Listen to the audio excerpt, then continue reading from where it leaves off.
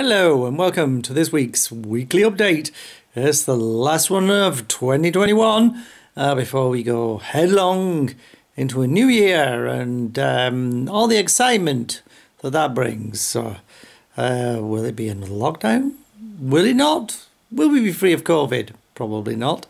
Um, who's to know? Um, life is boring, isn't it? If you, um, or it would be boring if you actually knew what was happening.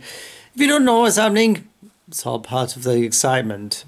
Uh, so um, I'm uh, back home after uh, Christmas, and um, I spent that up with my parents, and um, uh, did quite a few walks, especially Christmas Day walk around um, uh, Tandle Hill. Um, I had so much stuff that I had to bring back, uh, not presents, just presents plus lots of uh, uh, clothes that I did take up with me um, that I had to borrow a suitcase, uh, which I'm going to have to take back uh, when I um, uh, go back to see them next. Um, uh, today I've spent most of my time printing out um, lots of paperwork um, and um, and uh, paying a visit to the doctor to collect a form for going for a um, blood test uh, because um, uh, following the visit to the optician uh, about a month ago, as you know, I uh, they discovered some sort of spot thing in my eye, which could be caused by high blood pressure uh, and or diabetes.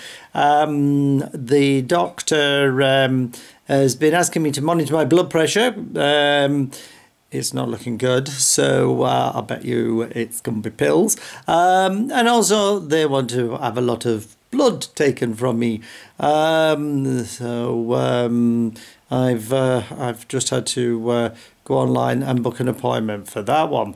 So it should be. Uh, uh, it says I need to a copy of the appointment. Um, yet uh, it hasn't emailed me confirmation. So. Um, uh, if I don't have that, I uh, I can't get into the hospital. So I think I'll remember to wave something under the nose saying, um, "Look, here's a text that says my appointment's done. I haven't got an email confirmation." So stand by for more stress. Um, uh, why is every, everything medical? It's always it always seems to take an awful long time or um, and involve lots of faff. Um, but um, we have to uh, persevere with it, do we not? So um, that's really it. Uh, just getting prepared for uh, New Year's Eve. Um, uh, doing a lateral flow test every day now, um, just to make doubly sure that I am uh, free of COVID, and fingers crossed that I don't catch it on New Year's Eve. Um, so, until next week, Happy New Year!